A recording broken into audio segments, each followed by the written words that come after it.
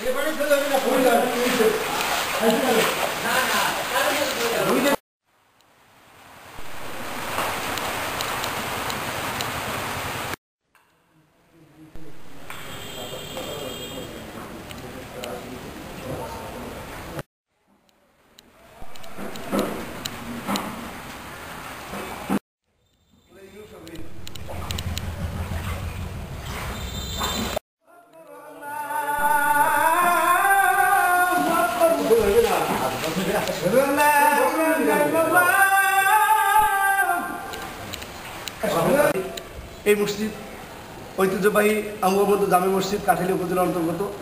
এই মসজিদে আমি প্রায় দশ বছর থেকে মঞ্জুর করে আসছি।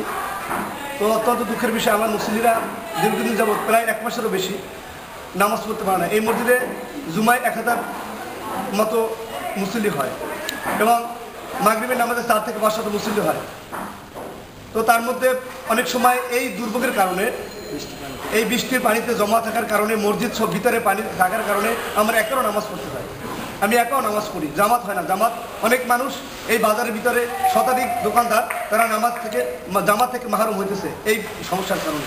আমি মসজিদে সাত দিন পর্যন্ত আটকানো অবস্থায় পড়ে রয়েছি।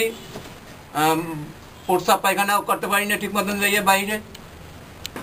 অতি কষ্ট লাগতে যাইতেছে। মসজিদে আডুবমান পানি, ভিতরে আমি একটা খাটের উপরে বসে রয়েছি।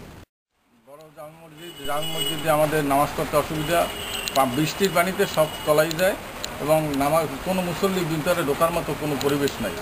মসজিদের উন্নয়নের জন্য যে কোনো ব্যবস্থা সরকারি পর্যায়ে আমরা চাই।